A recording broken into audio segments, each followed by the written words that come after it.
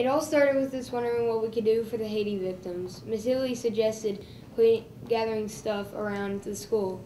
Um, these are some of the several items that we brought in.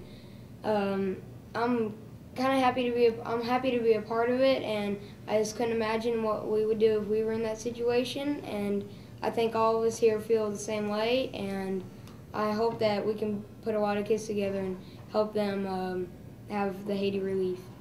This is a collection from nine different schools, and I picked up at least six boxes of items from each one of those schools. So that's over 50 boxes, as well as the bags, and a lot of the merchandise is brand new. The the towels, the, the, the combs, all the, the toothbrushes.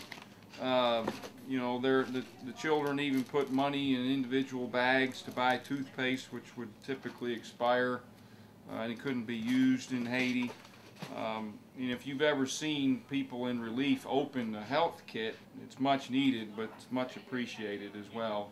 Sometimes I wonder what I would feel like if it was me to be in that situation and what I would do and how I would feel if people helped me like this. One elementary student asked me, and it was kind of cute, was I going to drive the items to Haiti? And of course, uh, I had to answer no, that they'd be trucked or shipped there. Student Council at Benton Elementary.